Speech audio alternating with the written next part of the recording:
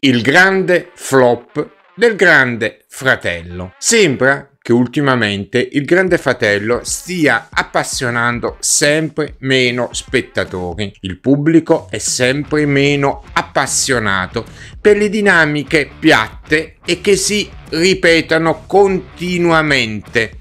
Infatti proprio nella scorsa puntata gli ascolti sono diminuiti e gli argomenti trattati hanno deluso. Il conduttore, Alfonso Signorini, nonostante sua voglia di fare, viene spesso criticato. Insomma, tanti stanno incominciando a pensare che quest'anno il Grande Fratello in realtà è un vero grande flop. Anche l'ultima puntata andata in onda hanno risuscitato il famoso triangolo Mirko, Greta, Perla. Perla, Greta, Mirko, stancando il pubblico perché il tutto è sembrato forzato. Cosa c'era da chiarire tra Mirko e Greta? Se i due si erano già lasciati, è sembrato tutto un po' ridicolo. Insomma, questa edizione del Grande Fratello viene giudicata un po'